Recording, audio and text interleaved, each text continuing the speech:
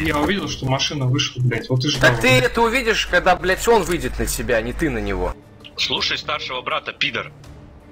В прошлый раз Хотя бы- послушал, хотя пошел бы в мейн, блядь, блядь. и убили меня. Петушками рожнем на... Вообще Давай, нахуй давай, давай. Никогда. Могу Они тебе бомжи, пиздец, не- они не просто на шару хуй. выигрывают. Ну ты же не будешь меня слушать, У правильно? вас эти советы, блядь, всегда такие охуенные, тайминговые.